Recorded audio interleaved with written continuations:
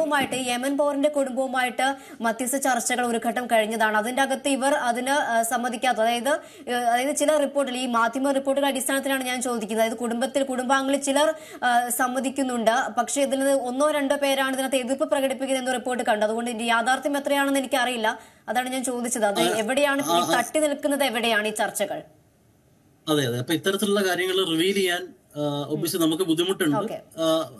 പക്ഷെ എന്നാൽ തന്നെയും ആ, മാധ്യമ വാർത്തകളിൽ പറയുന്നതൊന്നും എല്ലാം തെറ്റാണെന്ന് പറയാൻ കഴിയില്ല. ഡെഫിനറ്റ്ലി ഒരു റൗണ്ട് ചർച്ച ഒരു ഒരു ഒന്നൊന്നര വർഷങ്ങൾക്ക് മുമ്പ് ശ്രമിച്ചിരുന്നു.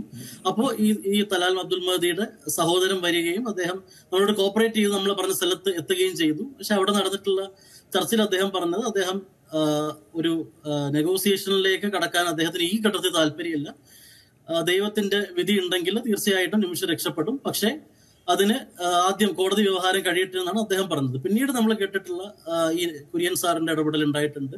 ഈ പറഞ്ഞ സാമൂൽ പറയുന്ന റിപ്പോർട്ടുകളുണ്ട്. അവിടെയൊക്കെയും നമ്മൾക്ക് മനസ്സിലാക്കുന്നത് റിലേറ്റീവ്സിലെ ചില ആളുകൾക്ക് ഒബിയസ്ലി കൂടുതൽ കൺവിൻസിങ് വേണ്ടി വരുന്നു എന്ന് തന്നെയാണ് മനസ്സിലാക്കുന്നത്. ഒബിയസ്ലി പക്ഷെ അതിന്റെ നിറ്റിഗിറ്റിയിലേക്കൊന്നും കടക്കാൻ ഞങ്ങൾക്കും അതിനകത്തുള്ള ഇൻഫർമേഷൻ ലിമിറ്റഡ് ആണെന്ന് തന്നെ പറയേണ്ടി വരും. കാരണം അത്തരത്തിലുള്ള ചർച്ചകളാണ് അവിടെ നടന്നുകൊണ്ടിരിക്കുന്നത്.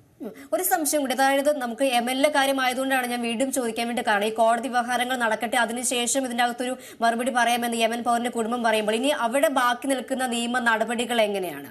അതിനെക്കുറിച്ചൊന്ന് പറയാൻ കഴിയുമോ? ഇപ്പം ശരിക്കും പറഞ്ഞു കഴിഞ്ഞാൽ ഈ അവസാനത്തെ ഇപ്പൊ നേരത്തെ സുഭാഷ് ഏട്ടൻ പറഞ്ഞതുപോലെ തന്നെ. സുഭാഷ് ഏട്ടൻ നമ്മുടെ legal legal Nimishapriya international action കൗൺസിലിന്റെ ലീഗൽ വിഭാഗത്തിന്റെ ഹെഡാണ് സുഭാഷ് ഏട്ടൻ. സുഭാഷ് ഏട്ടൻ പറഞ്ഞതുപോലെ തന്നെ എന്താ പറയുക ഫൈനൽ വേർഡിക്റ്റിന് വെയിറ്റ് ചെയ്യുകയാണ് നമ്മൾ ഇത് കഴിഞ്ഞ റമദാൻ മാസം കഴിഞ്ഞ നോമ്പ് മാസം ആണ് ശരിക്കും പറഞ്ഞാൽ ഇതിന് മുമ്പത്തെ വിധി വന്നു വരികയും ഫോർട്ടി ഡേയ്സ് പീരീഡ് ഒക്കെ ഉണ്ടെന്നൊക്കെ പറയുകയൊക്കെ ചെയ്തത്. പിന്നീട് നമ്മൾക്കും അവിടുന്ന് കിട്ടുന്ന ഇൻഫർമേഷൻ മിനിമലാണ് ലാസ്റ്റ് ആയിട്ട് നമ്മൾ കേൾക്കുന്നത് ഇന്ത്യൻ ഗവൺമെന്റ് ട്രാൻസ്ലേഷന് വേണ്ടി തർജമയ്ക്ക് വേണ്ടി വെയിറ്റ് ചെയ്യുന്നു. ഈ ഈ പറഞ്ഞ അവിടുന്ന് വന്ന പേപ്പർ വർക്കിന്റെ ട്രാൻസ്ലേഷന് വെയിറ്റ് ചെയ്യുന്നു എന്നൊക്കെയാണ് ഞങ്ങൾ അറിഞ്ഞത് അതിനുശേഷം അവിടെ ഉണ്ടായിട്ടുള്ള ലീഗൽ പ്രോസസ്സ് ഞങ്ങൾക്ക് ക്ലിയർ അല്ല. ഏറ്റവും പുതിയ വാർത്തകളും വിശേഷങ്ങളും അതിവേഗത്തിൽ അറിയാൻ G Malayalam news app download ചെയ്യൂ. സന്ദർശിക്കൂ. W W W dot G Malayalam news dot com